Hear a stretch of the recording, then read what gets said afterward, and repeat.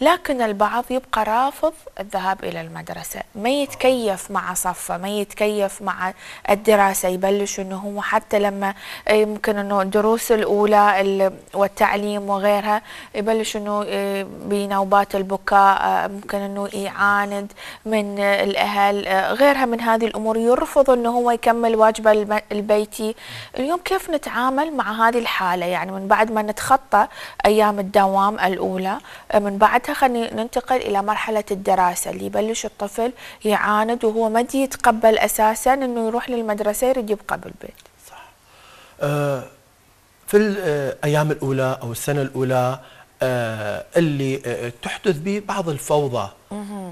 فالأطفال آه يتصرفون أو يختلقون اللي سميناه الفوضى يرمي كتبه صح. يكسر القلم. يبعثرهن هنا طبعا مسألة كلش مهمة. عدم استخدام القسوة من قبل الوالدين.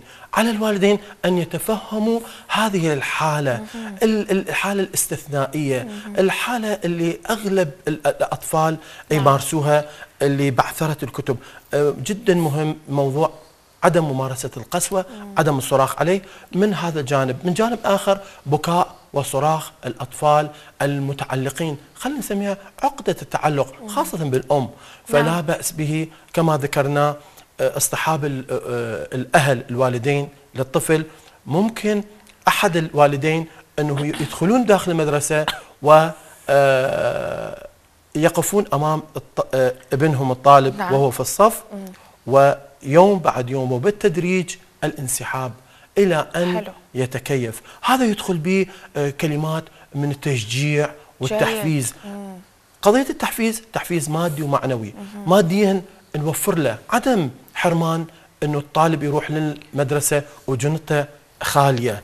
آه هذا من جانب جانب المادي. وأيضا الجانب المعنوي نشجعه بأنه راح تكون آه نشاطات راح تشارك بها حلو ما يتعلق بيوم الخميس رفع مم. العلم آه أيضا وأيضا مشاركة أصدقاء جدد بفعاليات ترفيهية جي. رياضية تعليمية مختلفة جي. هذه كلها جوانب تعتبر أفكار وطاقات إيجابية للطلاب بصورة عامة فعلا